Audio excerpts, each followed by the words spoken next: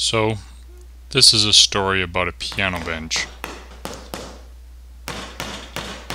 We got a free piano from our neighbors a little while ago, and uh, the piano bench that came with it was one of those beautiful compressed wood jobs with the printed overlay. My wife had been asking for something better and so when the Rockler Bentwood Challenge came along, I decided to put my hand to it.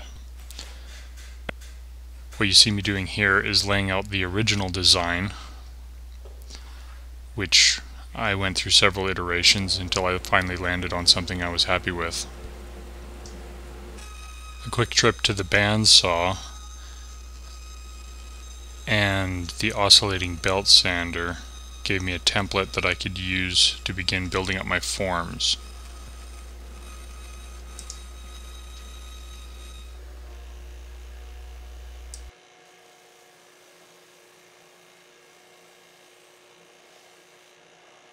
takes assholes and ears and then put them in this tube that barely feels like it's an organic material and then make it normal food.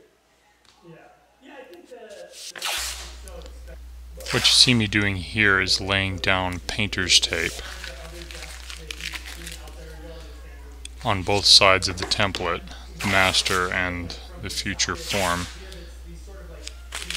And then I'm going to apply some super glue and accelerator to attach the two together.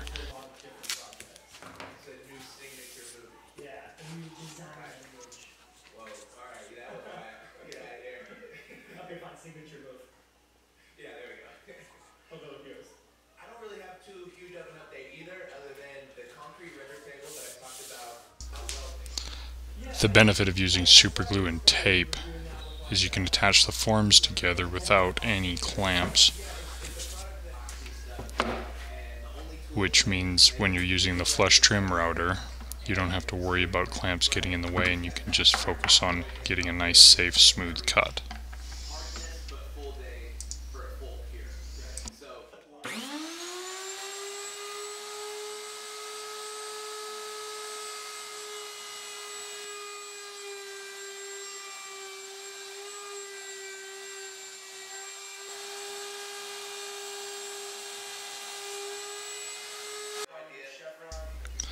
Here you can see how easy it is to separate the template when using the superglue and tape trick.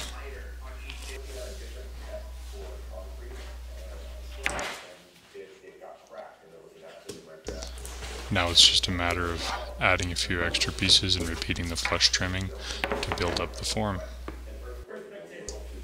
As you can see, I find that mayonnaise works exceptionally well as an adhesive when building forms out of MDF.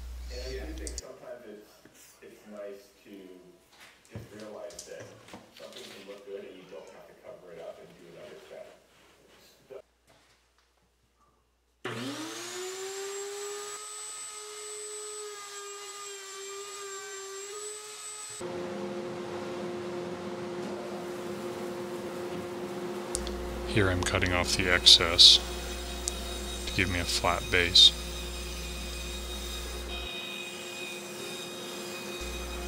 This is where design change number one enters the mix. As I was making these cuts I noticed that there was something wrong with my bandsaw and I started tuning it up and discovered that there was uh, a broken part which leads me to having to cut all of the strips for the bent lamination on the table saw instead of on the bandsaw. This means that the grain continuity across the edge isn't quite the same, so it doesn't look like a bent board. Now it obviously looks like laminations, which is okay since this is attempt number one.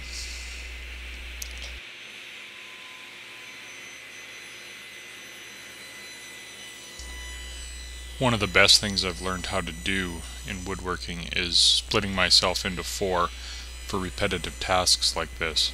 It helps them go by quicker and, you know, you're a little bit more focused and less likely to cause an accident or have an injury. So I somehow neglected to film the actual glue up.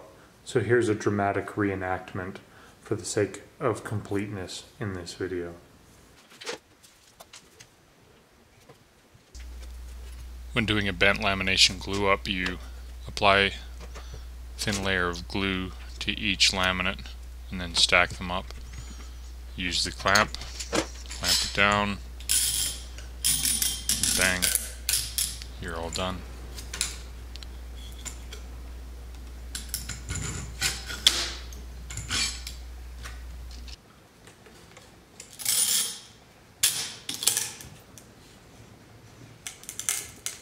Twelve seconds later.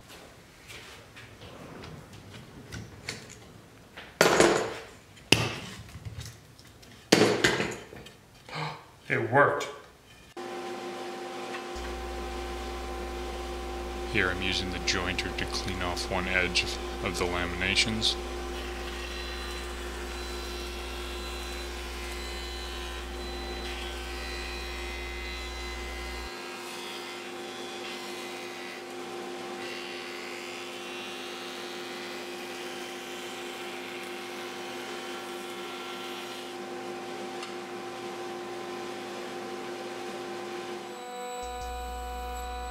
Running it through the planer makes the other side parallel and cleans off the remaining glue.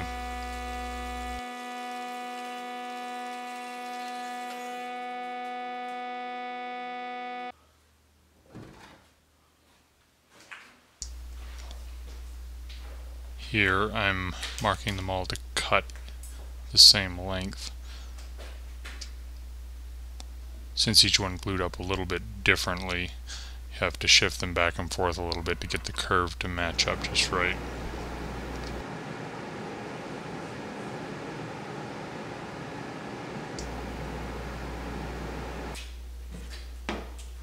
Busting out the tape and super glue again, I'm going to attach each leg to the template and then I'm going to use the template as a sled to cut the angle at the bottom.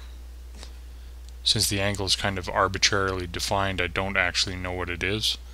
And so this makes it easy to just cut it and reference off the template so they'll all be the same.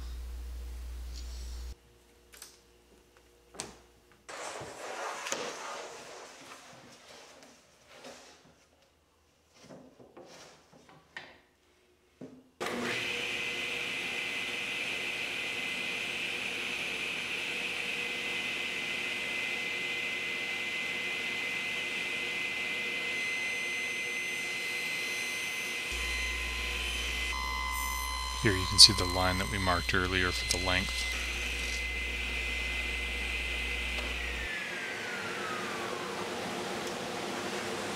So my original plan's not going to work. During stress testing, the uh, joints failed to hold. I'm gonna figure out how to do what I was originally gonna do sometime later. I think what I'm gonna do is change up my plan.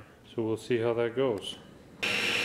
So I lost the footage of the gluing up these legs and cutting in the splines and stuff and I think what happened is I didn't get enough glue in there and it just failed to hold.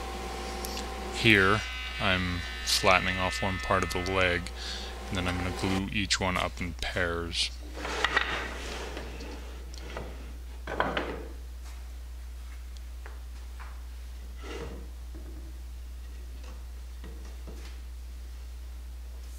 Again with the mayonnaise.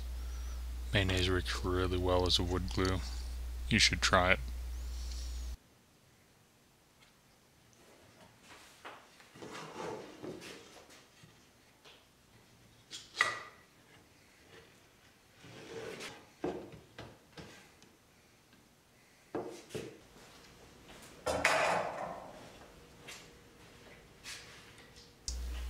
This is a piece of sapele that I've picked up that I'm going to use for the seat base on the piano bench.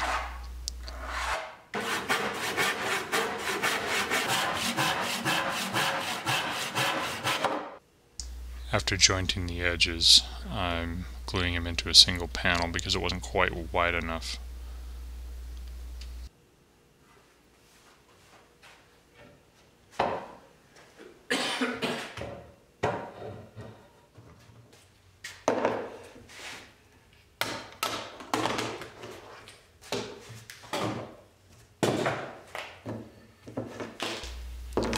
Here's the glued up legs.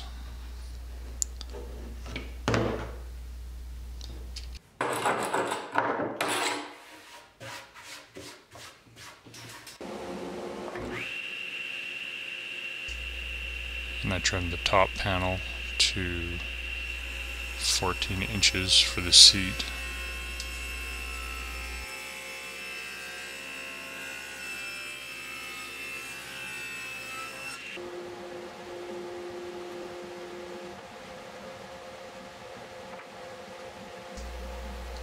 And here you see me trimming the end of the top panel, or the seat. Trimming it to length and trimming it square.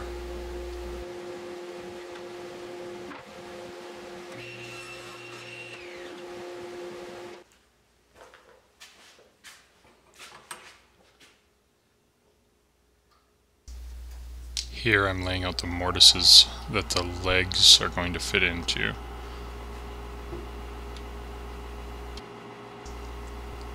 Whenever possible, you should always reference your piece rather than measurements. It Just makes things a little bit more accurate. And in this case, since I made a few mistakes, if I'd cut to a measurement, uh, they wouldn't have fit at all. I use a drill press to clear out most of the waste, and then go back with my chisel and square things up.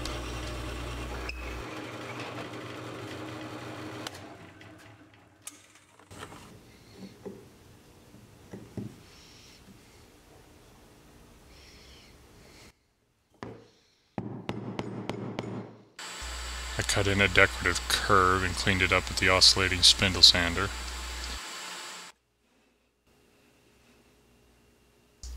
Here I'm setting up to cut some uh, sliding dovetails to attach the stringers to underneath to provide some racking stability when you're sitting on it. Nothing's better than a wobbly seat.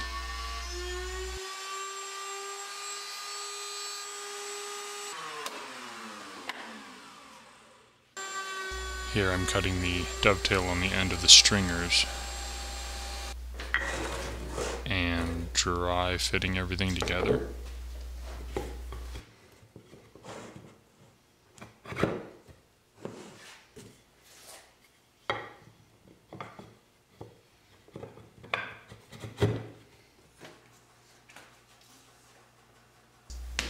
Here I'm laying out a radius on the ends just to kind of give it a little bit of a decorative look. Uh, I didn't end up doing the original profiles that I was intending to, mostly because of time and waiting for the router bit that I wanted to show up. So it's a little plainer than I wanted, but I think it turned out alright anyway.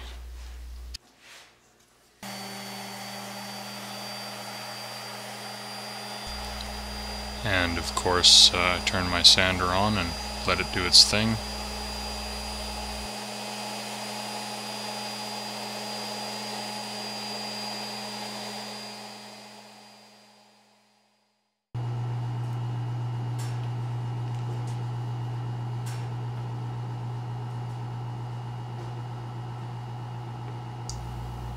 And time for glue and assembly.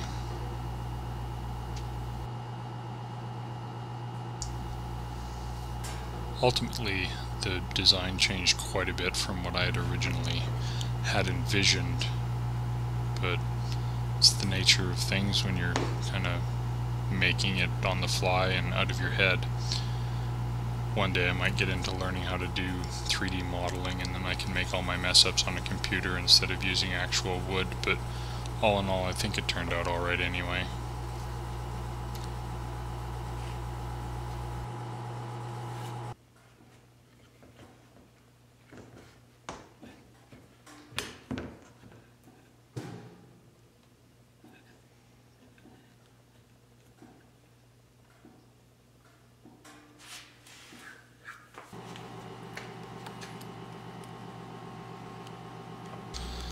I drilled some elongated holes through the base just to allow for wood movement to the top.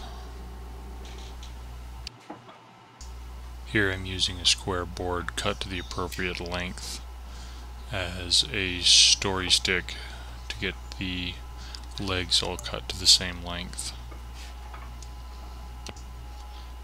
When it comes to measuring and marking curved pieces like this, it's really hard to do it without some sort of story stick or fixed measuring point or reference point from which you can measure.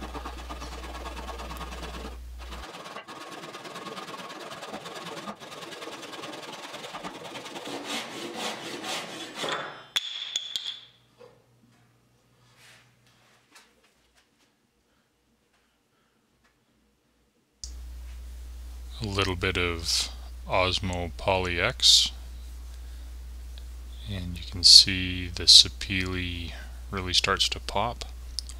This is probably everybody's favorite part. At least it is mine.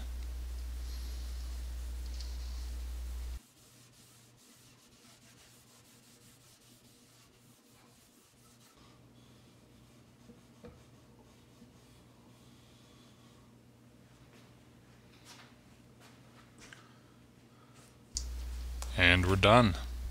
Thanks for watching. Don't forget to click like and subscribe, all that other stuff.